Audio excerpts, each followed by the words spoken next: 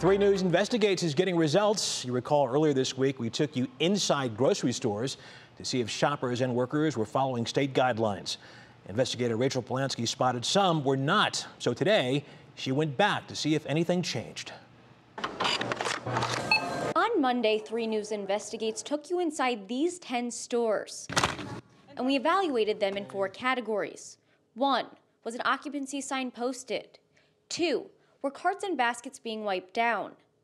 Three, were people maintaining six feet of distance in lines? And four, approximately how many people were wearing masks? Right now, it's critical to follow the rules so you don't get sick. All 10 stores had occupancy signs posted at the entrance. Turn around, sir. And floor markings and stickers encouraging social distancing. A much better experience than before.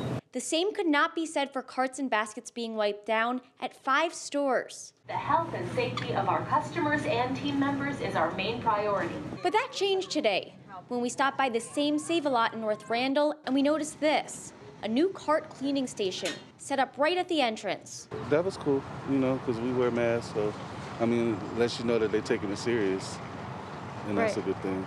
We also spotted more workers wearing their masks, much different than what we saw the last time we stopped by.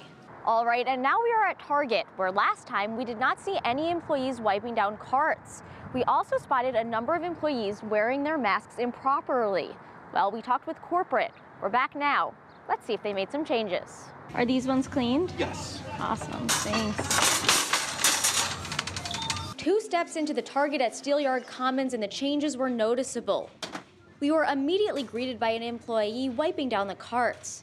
And as we walked around the store where we once spotted workers with their masks tucked under their chins, today we spotted more masks being worn properly by employees and also by customers. Oh, I've been wearing a mask every time I come out of my car and go into a public place. I have wipes in my car. I wipe my hands off.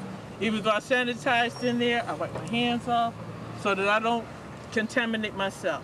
So at least two stores have taken immediate action after our investigation. Good news as we head into the weekend where I'm sure a lot of folks, like myself, plan on doing our weekly grocery shopping. Now, if you want to take a look at all of our investigation's findings, you can head on over to WKYC.com. Rachel Polansky, 3 News.